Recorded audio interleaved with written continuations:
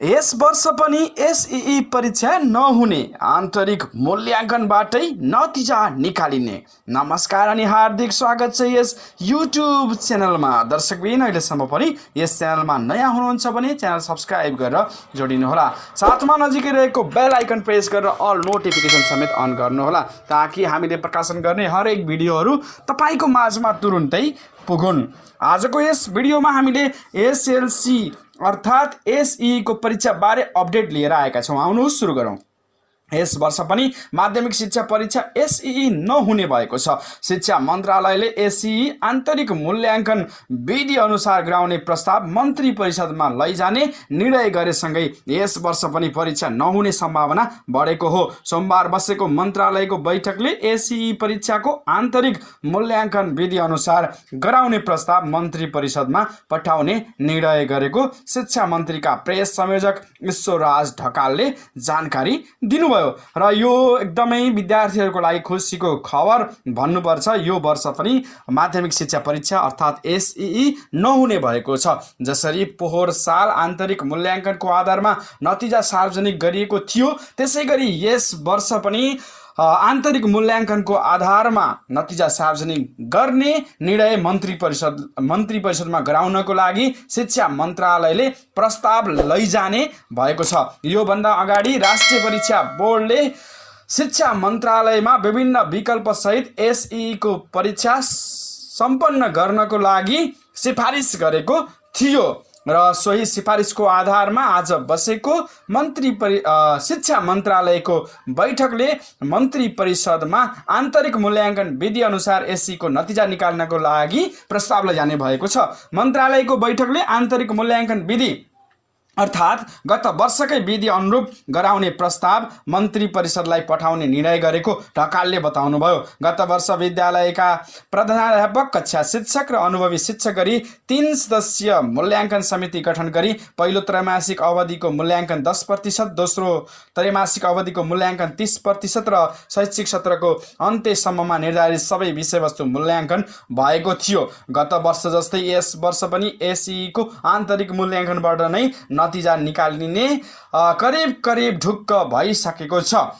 योभन्दा अगाडि जुन कार्यदल गठन भएको थियो कार्यदलले अध्ययन गरेको थियो। अध्ययन गरिसकेपछि राष्ट्रिय परीक्षा बोर्डलाई प्रतिवेदन बुझाएको थियो। सो प्रतिवेदनको अध्ययन गरी राष्ट्रिय परीक्षा बोर्डले शिक्षा मन्त्रालयलाई सिफारिस गरेको थियो। एसी यो यो विकल्पमा चाहिँ गर्न सकिन्छ यसरी यसरी गर्न सकिन्छ भनेर।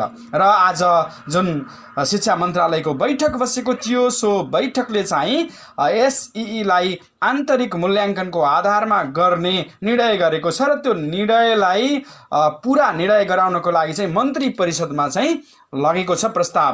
मूल्याङ्कन विवरण तयार गर्न राष्ट्रिय परीक्षा बोर्डले एसी कक्षा दसको मूल्याङ्कन नतिजा प्रकाशन तथा प्रमाणीकर प्रमाणीकरण कार्यविधि दुई हजार सतहत्तर जारी गरेको थियो। जस अनुसार मूल्याङ्कन समितिले राष्ट्रिय परीक्षा बोर्डले तोके अनुसार विद्यार्थीको प्राप्ताङ्क शिक्षा विकास तथा समन्वय इकाइमा बुझाएपछि सम्बन्धित शिक्षा विकास तथा समन्वय इकाइहरूले उक्त विवरण राष्ट्रिय परीक्षा बोर्डमा पठाएको थियो। समितिले बुझाएको विद्यार्थीहरूको प्राप्ताङ्कको आधारमा बोर्डले परीक्षाफल तयार गरी प्रमाणपत्र जारी गरेको थियो। यो खबर जनता समाचार डट कममा छापिएको छ। पक्कै पनि गत वर्ष आन्तरिक मूल्याङ्कनको आधारमा जब मूल्याङ्कन गरियो त्यसपछि कक्षा दसको एउटा चाहिँ कार्यविधि दुई हजार सतहत्तर जारी गरिएको थियो जसअनुसार चाहिँ राष्ट्रिय परीक्षा बोर्डले तोके अनुसार विद्यार्थीहरूले प्राप्ताङ्क जुन पाएका हुन्थे त्यो प्राप्ताङ्कलाई शिक्षा विकास तथा समन्वय इकाइमा बुझाउने विद्यालयले बुझाउने अनि सम्बन्धित शिक्षा विकास तथा समन्वय इकाइले चाहिँ राष्ट्रिय परीक्षा बोर्डमा बुझाउने अनि राष्ट्रिय परीक्षा बोर्डले चाहिँ त्यो प्राप्त विद्यार्थीको प्राप्ताङ्कको आधारमा परीक्षाफल प्रकाशन गर्ने र प्रमाणपत्र जारी गर्ने गरेको थियो। र यो सँगै यो खबरसँगै विद्यार्थीहरू जुन एसई दिने विद्यार्थीहरू हुन् ती विद्यार्थीहरू चाहिँ अब ढुक्क हुनुहोला। तपाईँहरूको भौतिक रूपमा कुनै परीक्षा हुने छैन। र त्यसै गरी वैकल्पिक विधिमा पनि कुनै परीक्षा हुने छैन। योभन्दा अगाडिको समाचारमा राष्ट्रिय परीक्षा बोर्डले मन्त्रालय समक्ष विभिन्न विकल्पसहित सुझावहरू चाहिँ पेस गरेको भन्ने समाचारहरू आएका थिए र ती विकल्पहरूमध्ये आन्तरिक मूल्याङ्कनलाई नै शिक्षा मन्त्रालयले चाहिँ अब अनुमतिको लागि मन्त्री परिषदमा लैजाने भएको छ। त्यसैले विद्यार्थीहरू ढुक्क हुनुहोला एससीका भने। कक्षा बाह्रको चाहिँ हाल अहिले भर्खरै निर्णय नहुने समेत बताइएको छ। आजको भिडियो कस्तो लाग्यो जस्तो लाग्यो त्यस्तै सल्लाह सुझाव र प्रतिक्रिया दिन नभुल्नुहोला।